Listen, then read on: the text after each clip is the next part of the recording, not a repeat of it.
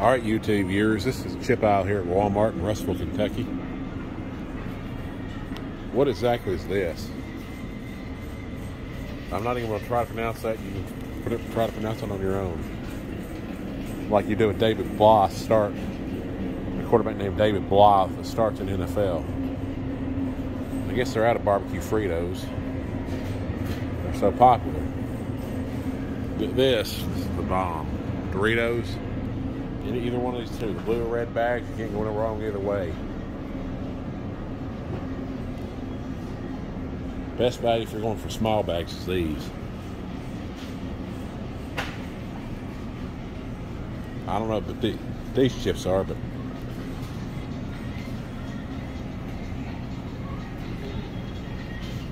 this is Kige Ramsey for YouTube Sports from the from the chip aisle at Walmart. And there's a turkey basement that's went kaploot.